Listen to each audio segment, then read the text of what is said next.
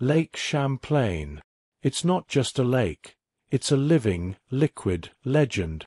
Nestled between New York and Vermont, Lake Champlain is the eighth largest naturally occurring body of fresh water in the continental United States. The lake was named after Samuel de Champlain, who discovered it in 1609. Of course, the Abenaki people have been calling it Pitunboke, or waters that lie between, for ages. Lake Champlain is home to over 90 species of fish. You name it, Champlain's got it. So if fishing is your idea of fun, you'll not find a better destination than this. And if fishing isn't your thing, don't worry. You can swim, boat, or just sit on the shore and contemplate the meaning of life. But the real star of Lake Champlain? That would be Champ, the lake's very own monster. Welcome back, my fishy friends. Today we're going under the waters of Lake Champlain in search of a legendary beast. Climb aboard the SS Arleigh and let's begin our journey into the dark depths of American folklore. For centuries, tales of Champ have been making waves. The indigenous Abenaki and Iroquois tribes were the original storytellers, warning early French explorers about a giant serpent in the lake.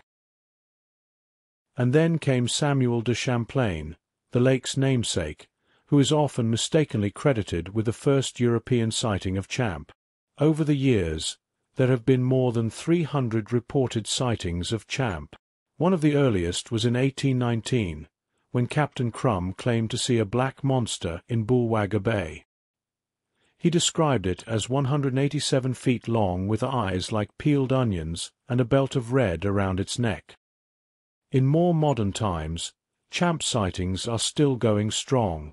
In 1977, Sandra Mansi took one of the most famous photos of Champ. But was it Champ?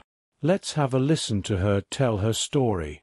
To tell you about this one day, July of 1977. We were up exploring the lake with my husband, Anthony, and my two children.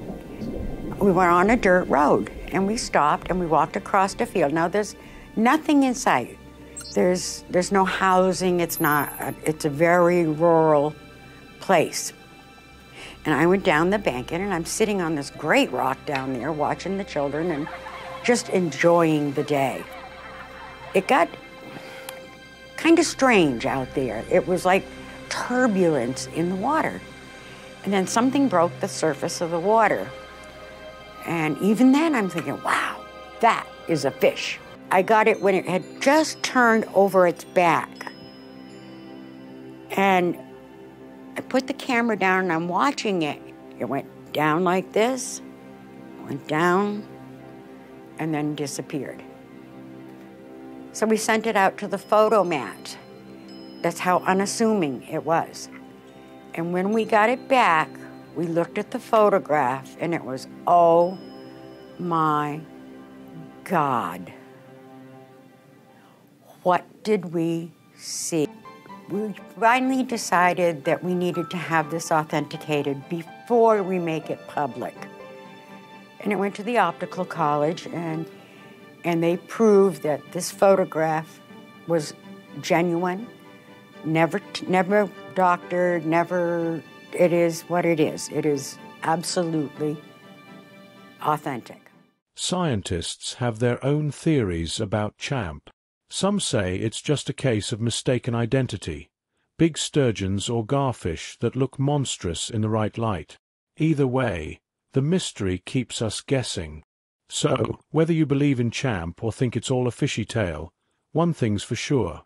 Lake Champlain's monster legend adds a splash of fun and mystery to this beautiful region. Thank you for watching.